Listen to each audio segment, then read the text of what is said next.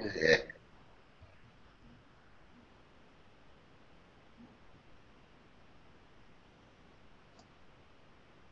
Yeah, whatever.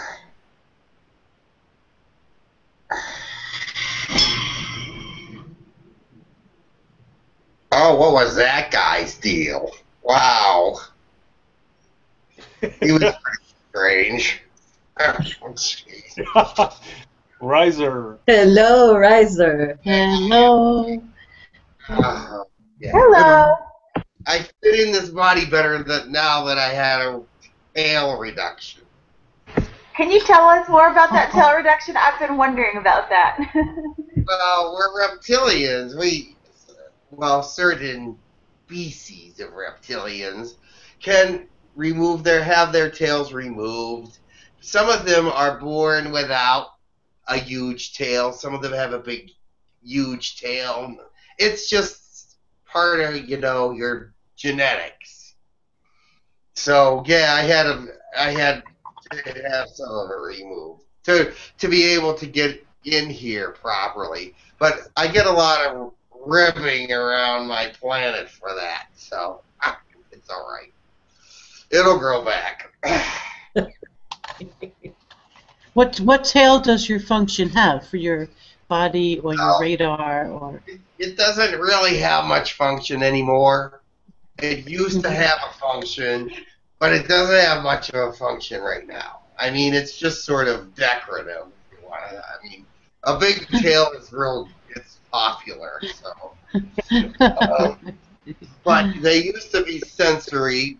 Uh, they used to be uh, used for sensing things and for defense and things like that. But right now, I mean, yeah, not much use really.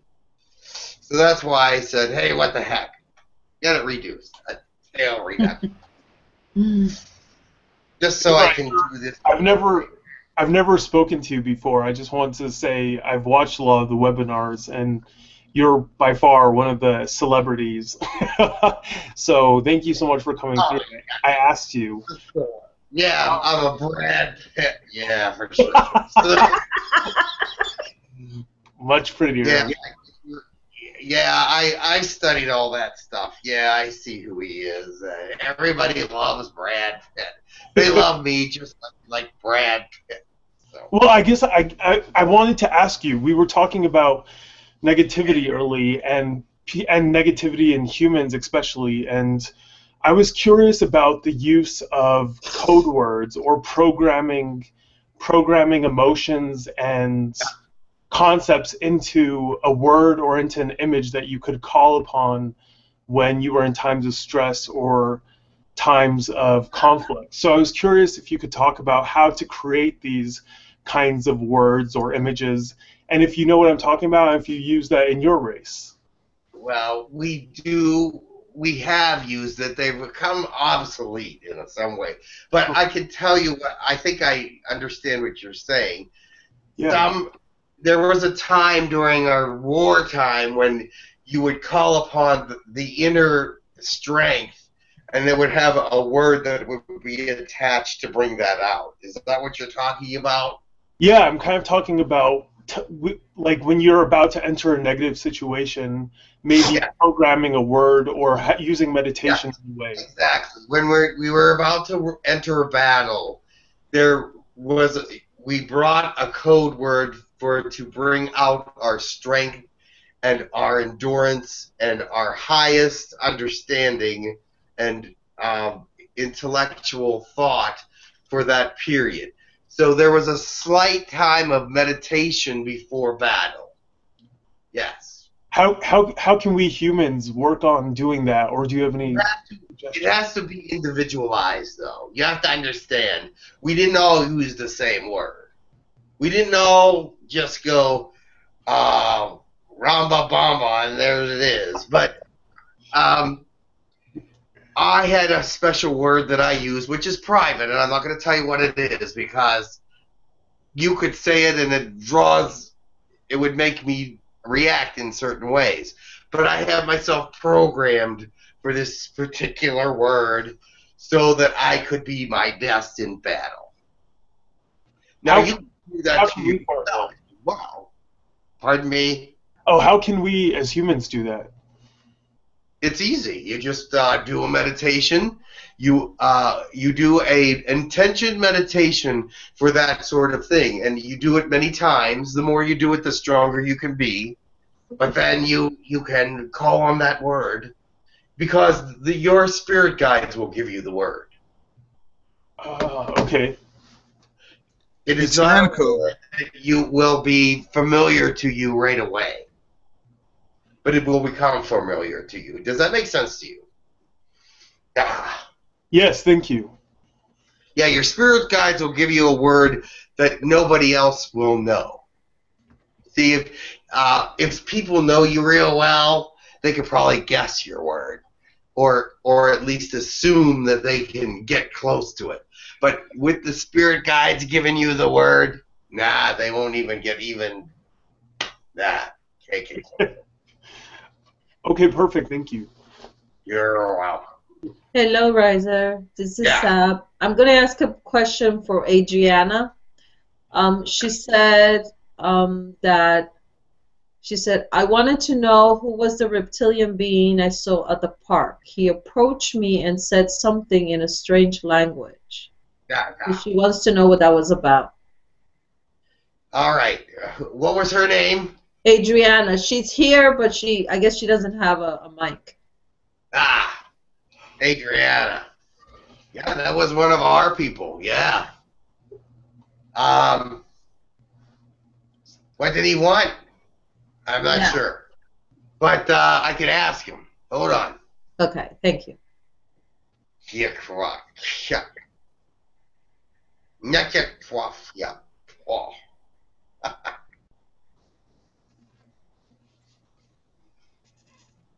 Oh. he knows that you know about reptilians, so he wanted to know what you thought about him. He he was sort of like, like uh, he didn't know that you couldn't understand him. Since you know about reptilians, he thought if he spoke reptilian, you would understand it. But next time he'll talk to you in English, all right? I, he asked you some questions. That's all. Like, what are you doing here? Why are you Why are you in the park? You know, I. Uh, but you didn't understand what he was talking about. He was just making small talk, basically.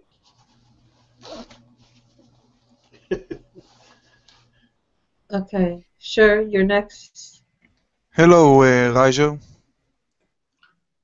Can you hear me? Yeah, yeah, yeah. I hear you. Can I ask you about uh, reptilians in Israel? Eh, what?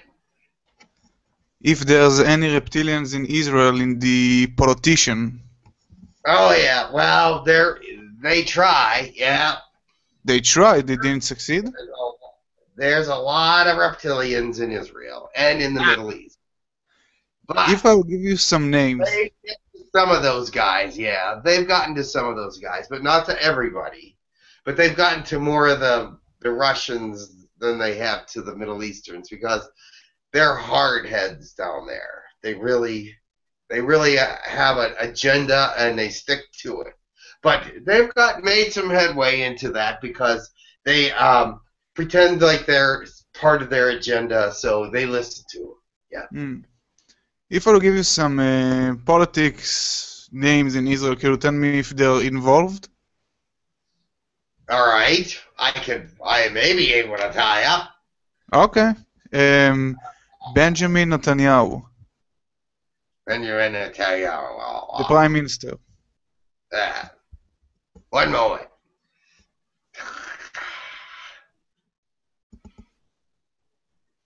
He has a reptilian working very close to him. However, they don't see eye to eye on everything. Some things, yes, but not everything. They they argue a lot in a very, very, very high class way. So they they but they do argue. Can you tell me what his name is? Who? The reptilian? If it's okay. No, I'm not allowed to to do do that. No. Okay. close. He's one of his advisors, Ah. and Okay, can- somebody works for him very closely. Yep. Okay, can I give you some more names? Sure, why not? אוקיי. אה, יאיר לפיד. What? יאיר לפיד. Yael Lapid. I don't know who that is. אוקיי, your luck then. אה, ליברמן. Oh, Lieberman. I know who that is. Yeah. Ah. so he is involved with reptilians? Uh, not directly, but uh, he's met with them before. Yeah, he doesn't. He doesn't really like reptilians very much, but hmm. he does listen to them sometimes. Okay. Um, bougie. Yeah, bougie. Yeah, he's definitely attached to some what? reptilians. Yeah. yeah. Bougie attached with reptilians. Yep, a little bit. Holy sh... He's a good guy or um... Yes, but he's one of those guys that keep your enemy close, and then you'll know what they're up to. So yeah, he he's not he doesn't agree with him or anything, but he definitely has a lot of reptilian uh, access. Let's put it that way. So, but he he does not listen to their advice, but he definitely listens to what they have to say. But his uh, intentions are good or bad? His intentions are very good. Yeah. Ah, okay. Uh, Bennett. Uh, Bennett, I don't know. He wearing a kippah. He's a Jewish fella. He has many influence. He's trying to uh, become prime minister. Um, I don't know. I really don't know because um, if if he has any reptilian uh, contacts, I don't know who they are. Hmm. Okay. Um, thank you very, very much. Yeah, yeah, yeah. much love. surprise, surprise! Everybody has reptilian contacts in in the governments there, but they don't always listen to them. That's that's the story. But that some of them don't even know that they're reptilians because they refuse to believe it. I mean, they've been told they've been told that they're reptilians. They just Oh, don't so- believe. it. Yeah, Benjamin Netanyahu and all of those knows about them? they know that they're they've been told. Yes? Yeah, but, they don't believe it. Some of Hmm. them don't. But the, your one guy does. The one that that the real good guy, he's aware of Who's it. Yeah. Bougie aware of them. yeah, he's aware of them. Okay. Thank you. You're welcome. Ha! Hello, this is Sabrina. Yeah. I have a question for you. Since you have uh, dealt with the U.S. government, Mm, yeah. In the you were in the military. military. Yeah. Yeah. So um, maybe you can help us with this. Um, about there seems to be a challenge about transporting people to the ships Yeah. um, because of some deal that was made. Uh, What advice would you give about that? Well, you see, the problem is that um, whenever they made the contract, it wasn't as it wasn't specific enough, and so they did say that they were allowed to help the Earth with the weather and the seismic and volcanic, and that they were allowed to talk to people through channeling situations and stuff like that. But they were not allowed to interact with humans in a third dimensional way. Okay. It's stated that third dimensional way, okay? And so, uh, they want to take humans off the earth and bring them to the colonies. And that's taking out of third dimension into a different area. So that's a breach of contract according to the politicians. But according to the Girk Fitneer, they're saying, well, we're not interacting with them on Earth. We're bringing, we're not even coming to Earth. We're bringing them to the ship. However, and we're interacting with them there. So they said, no, no, no. If you take them in their third dimensional off the Earth, that's affecting their, that's interacting with their dimension. But so they see they have a big argument there. They have a big argument there because they were not specific. Well, it says third dimension. It does not say anything about teleporting or anything like that. That they would have. So they're working on making an addendum or presenting your your politicians with a way to get around it, but they haven't they haven't got around it yet because they're saying if you take our people off the earth, that's deal that's a deal breaker. Okay, now where does our free will come in on this? Oh, it doesn't, dear. no. Um, your government is not free will. No. Uh, your free will is to say yes, I can. I'll go if they let me. But your government is saying you're not going. So that that's not your free will. That's their free will. Exactly, and and that's that's where uh, some of us, you know, are a bit, uh, I guess, annoyed over this because um, it it should be our decision to make. I understand if they're protecting, if they were protecting us, but if we are making the decision to go, Yeah, well, it, it's just like a law. You don't break if you break the law. That was your free will to break it, but they it's their free will to throw you in the pen or whatever. right? So, yeah, th- when it comes to this, your government is in control. You have no say at this point. Okay, now taking it uh, taking us off planet, it's not on 3D. So I don't understand how they could even argue that.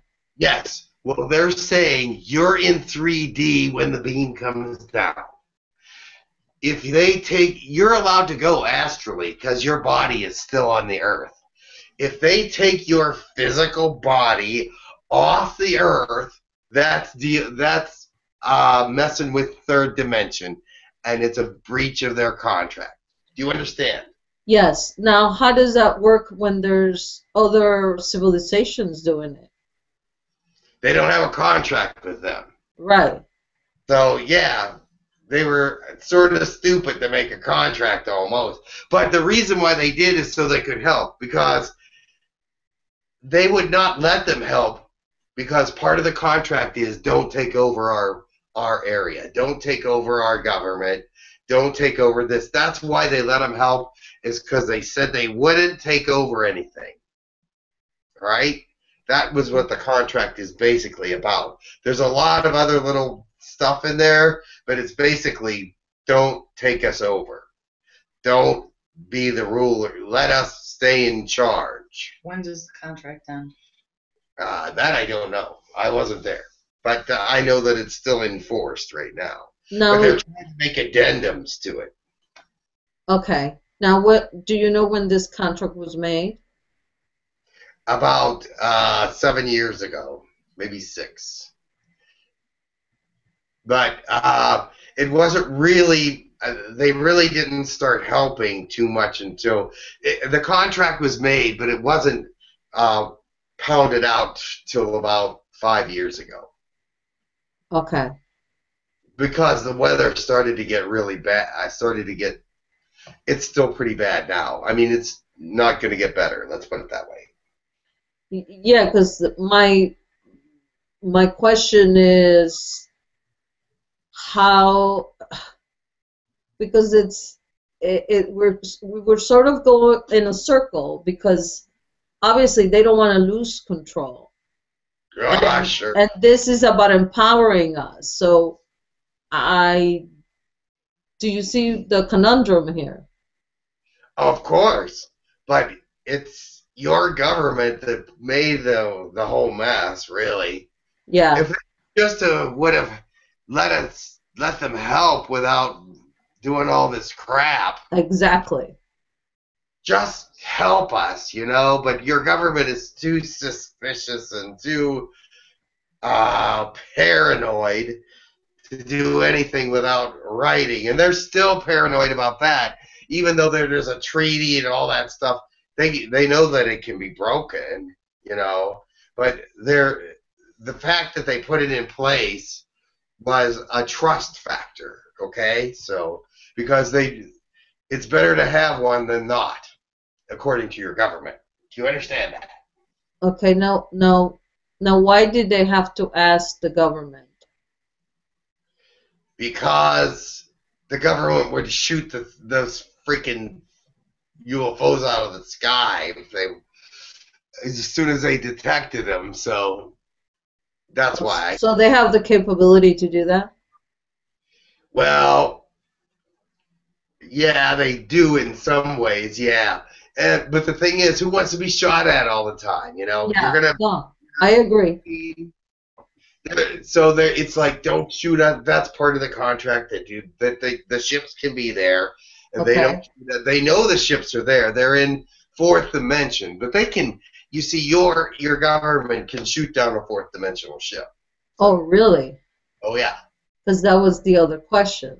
yeah. How, do, how does a third dimensional weapon shoot a fourth uh, dimensional ship? other aliens that give them the the information to do it because they don't want Girk Fitneer to help you. So they'll give them the technology to shoot out a fourth dimensional ship. Sure.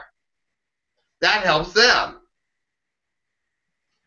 Okay, and that would be, I guess, the ones not wanting us There's no- ascending.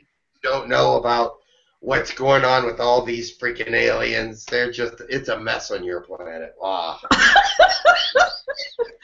I mean, they're everywhere, and they're and nobody knows who to trust or whatever. It's just ridiculous. But it's still working so far. But uh, my personal thought, it's going to break down one of these days because just it's just too much. Okay, l- let me ask you. Um, do you do you know Bashar? Do you know who he is? Oh yeah, sure. Yeah. Okay, he recently made some predictions What? uh, about the Earth, um, something happening this year, towards the end of the yeah. year. Yeah, I think it'll be more 2016, but yeah, he could be right. Okay, that that that. Okay, and what about um? I don't know. There's there are numerous predictions that he made. Do you know anything about that? I really don't pay much attention to all these other channelers. They always contradict each other, and I Yes. find them to be. So anyway, um, but you know what? To make a prediction like some of the ones that he made, he has to have some. He has to have visited another timeline, and according to galactic law and stuff like that, um, that it's interesting that, that he's allowed to. Right, because he's never done that before. So No, I he's never made predictions before. So that means he had to visit another timeline. So, whatever, I just hope he visited the right timeline to give the right predictions. right, and that's that was my next question because how does he know that we're going to shift to that timeline? That is a very good question, and my question as well. Because if he's shifted to the wrong timeline and he made these predictions, then they're not going to happen. But let me tell you something about Bashar. He's pretty bright. He's a bright guy. He's very, very in tune. So um, uh, I have a feeling that uh, they allowed him to do a little bit extra. So Okay, because then we have on top of that we have the L predictions. yes, the L predictions are also. You have to look at another timeline. Yep. Um, because Well, but in the meantime, there's a lot of variables. right, You know what I mean? Things that they may not have foreseen with all these freaking aliens coming down. They they might interfere some way that'll change everything. So you don't know.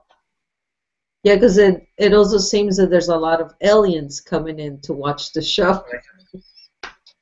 Yeah, That's what I just said. Yeah. Uh, but anyway, it's a crapshoot. Okay. All right. Thank you. Um, Angela had a question. Yeah.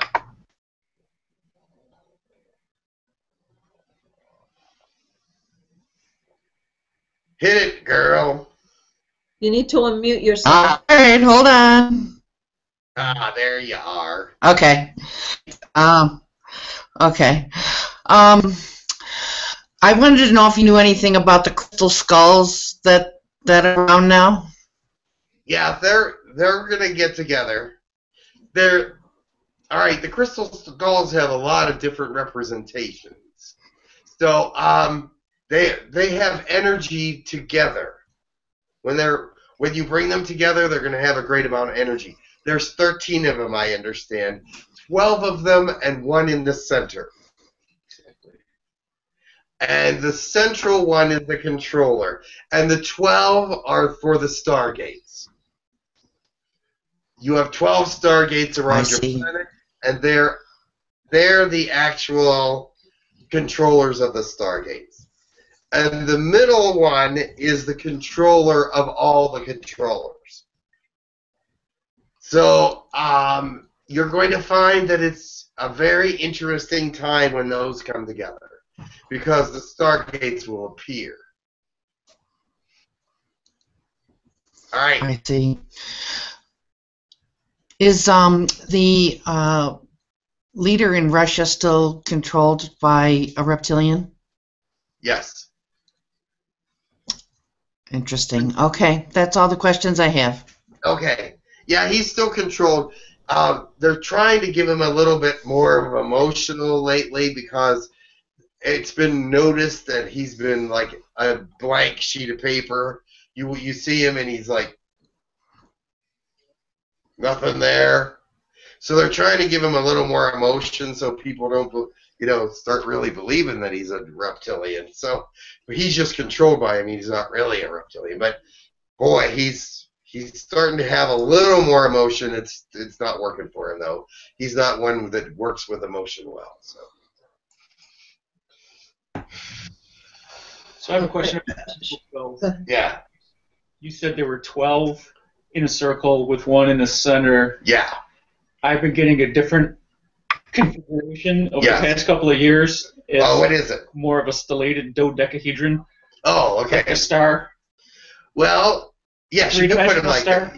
Yes, it's it's not a circle really. It's but I'm just saying there's one in the center. Right. But the the the format of this of the the uh, skulls is however it's supposed to be, and that could be a dodecahedron because were, those are popular in in space. So I'm not quite sure because I'm not really privy to all the crystal skull information. I, but I do know they are all there. They're all existing at this time. I think they're all found actually at this point. So beware, they'll be coming together one of these days. And then the stargates will appear. Is that what you got, stargates? So, Yes. all right, very good. The configuration is on some kind of alien parchment somewhere, but and I know somebody has it, but I don't know. Uh, hi. Have you and I ever met before? Oh, we met a couple times, yeah. What was it like? You were curious about who I was and all that stuff, and um, because you're you're actually a a very inquisitive guy about all different kinds of species. So you're like a you're like keep a, a mental record of different species that you met. So yeah, we had a small conversation, and I was uh, it, it was right after you came back from the colonies once. Because I had a question for you about the colonies. I won't. I, I was going to ask you about your sexual exploits in the colonies. So, uh, but we did not. Um, we didn't really. Uh, I didn't really uh, get much from you on that. So we'll see. What did I say?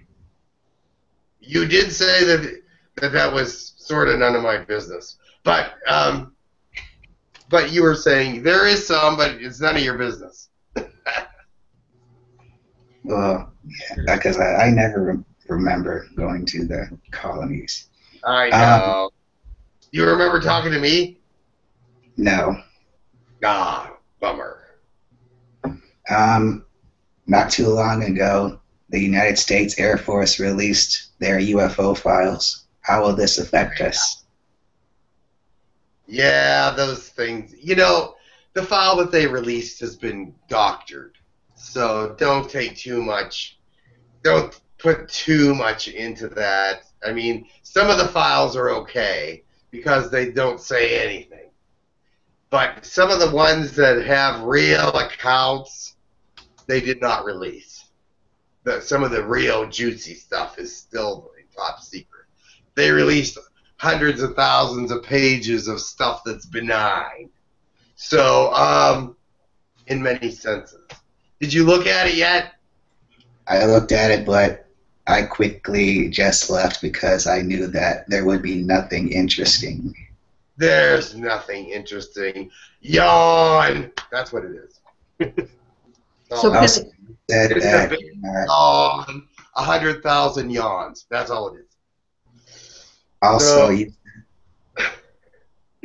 uh, yeah, I believe sometime in the past you said that you're not and you weren't really interested in Earth movies. Not really. Well, there's one coming out I think next.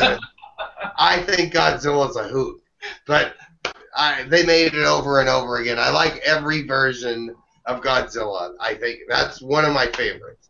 But I don't watch very many other ones. That Godzilla one is funny though. That is a hoot.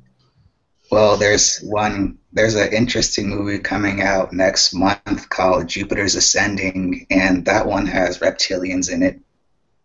Ah, very good. I'll have to look into that one.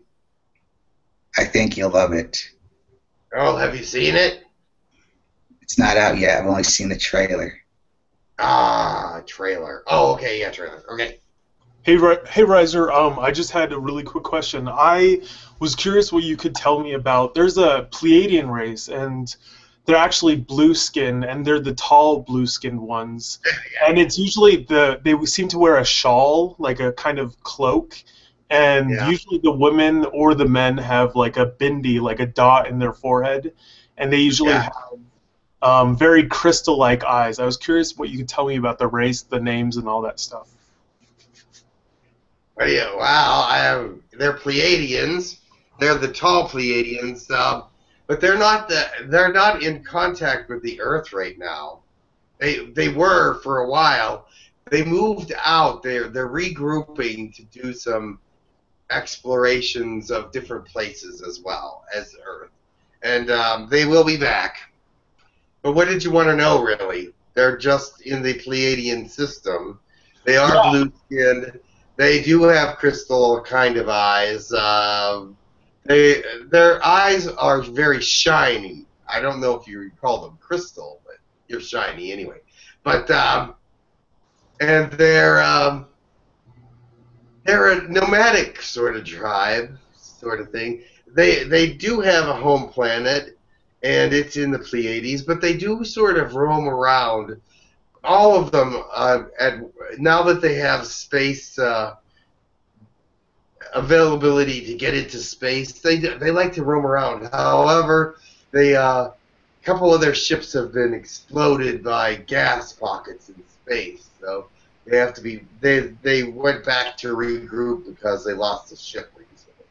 What's their um race name? And do they is it a feminine race? Like are there males in that race? Because There's male- picture Right, of that- them. Well, yeah, there are males and females, but they're moving into a Unitarian kind of species where, um, but that's like, I could go on talk about. They're sort of boring, so I, I, yeah, they're they're sort of boring. So you really don't want to know that much about that. They're they're coming back. Yeah. Um, Old Riser, hi, this is Saphira. Hey. Um, There is one more question, but if you or Jim are too tired, then we can end it here. Would you have energy for one more question? There Would was you- there's always one more question, well, so go for it. Okay, this is from Shron. Go ahead, Shron. Sarah. Hello, Riser. Thank you Hello. for being here. You're really uh, hilarious this morning. Um, I wanted to ask. Um, I ain't got it. Ah, thank you. Um, I wanted to ask if you could tell us about your favorite memory up to date, up to so far. My favorite human memory or reptilian memory? Either one, whichever one you prefer. Uh, okay. Well, I have a lot of favorites actually, but I won an award. Uh, about I won an award. What? What? Yeah, yeah. Congrats. Yeah. I won an award for my military strategy about, I don't know, 42 years ago or something. But that was one of the highlights of my life is that uh, they recognized me for my strat- strategic uh, abilities. And that was an earthly, that was sort of an earthly remembrance because I was I was very, very good on Earth. I was very strong, very. Uh, I had a great brain and stuff. So, yeah. Do you remember who you were? Uh, yeah, but I'm not going to tell you who that was How? because I became somebody of sort of notoriety. So, Right. so I couldn't really tell you that. but you'll figure it out someday. yeah, you'll figure it out. I rose through the ranks. yeah. All right. Well, if that's it, I'm gonna go. That's it. Thank you. Thank you you, for coming. Walt Thank you. Please remember, tell Bougie my Love. message. Much love. Thank you. Have a great day. You too. I gotta go. This I'm bringing back the Jim guy. Yeah. All right. Okay. Bye, Raja. Thank you. Bye. Bye. Ah. whatever.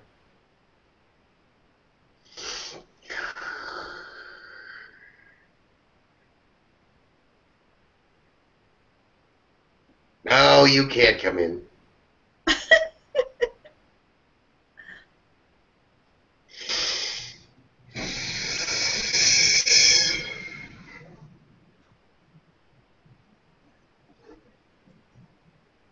Eh.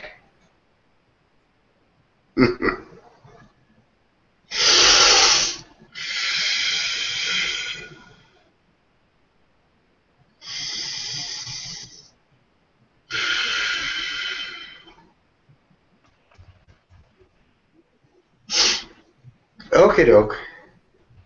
Hi, Hey, Doctor. hello, everybody. Hey, Jim. Welcome back. Welcome back, Jim. Thank you. Hey. Hello. hmm How are you feeling? I feel good. good. Good. I want some coffee.